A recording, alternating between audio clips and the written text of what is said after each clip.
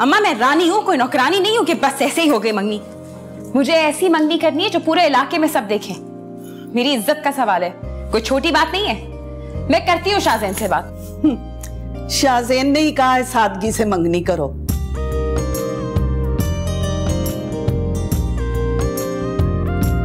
हो। अच्छा।